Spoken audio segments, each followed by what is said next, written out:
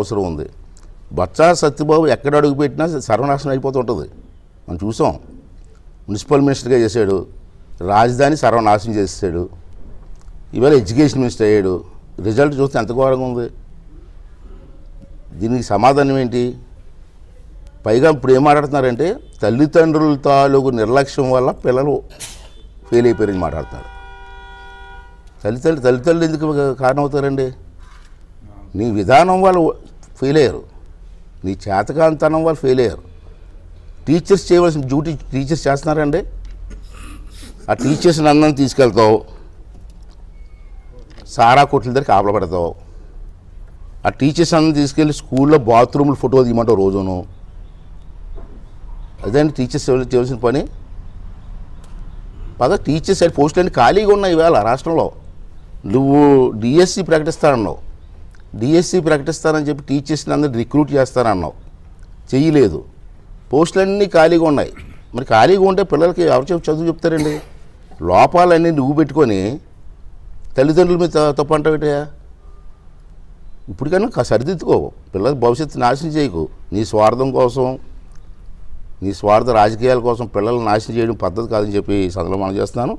అది కాకుండా మళ్ళీ ఇవాళ రీవాల్యుయేషన్ రీవాల్యుయేషన్ కట్ట మరి డబ్బు కట్టాలట. ఇక్కడ పేపర్లో చూశాను నేను. రీవాల్యుయేషన్ చేయవయ్యా ఎక్కడో పొరపాటు జరిగింది నాకు అనుమానం ఉంది. ఏట పొరపాటు రీవాల్యుయేషను చేస్తే రెండు లక్షల డెబ్బై వేలు దాకా పోయి ఫెయిల్ అయ్యారు కదా. మరి వాళ్ళందరూ పాస్ అయితే అమ్మఒడి మళ్ళీ మూడు వందల కోట్లు నీకు ఎక్స్ట్రా అవుద్ది. అంటే మూడు వందల కోట్లు పెట్టుకోలేక డబ్బులు లేక రాష్ట్రాన్ని అప్పుల పాలు చేసి ఈవేళ రీవాల్యుయేషన్కి మళ్ళీ డబ్బు కట్టమని చెప్పి పెట్టడం పద్ధతి కాదు. ఈవేళ ఉదయం నేను చూశాను.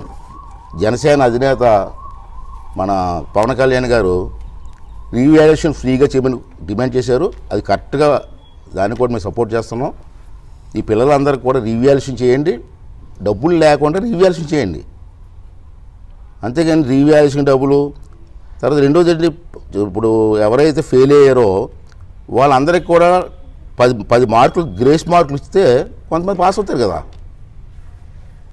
మీ ప్రభుత్వం లోపం వల్ల ఈ నష్టం జరిగింది కాబట్టి ప్రభుత్వం పది మార్కులు గ్రేస్ మార్కులు ఇవ్వాలని చెప్పి మేము అంతా డిమాండ్ చేస్తున్నాం. ఆల్ పార్టీస్ కూడా డిమాండ్ చేస్తాయి నాకు తెలిసిండి అంచేత మీరు చేసిన తప్పులు సరిదిద్దుకొని పది మార్కులు గ్రేస్ మార్కులు ఈ పిల్లలకి ఇవ్వాలని చెప్పి కూడా మా పార్టీ తరఫున తెలుగుదేశం పార్టీ తరఫున మేము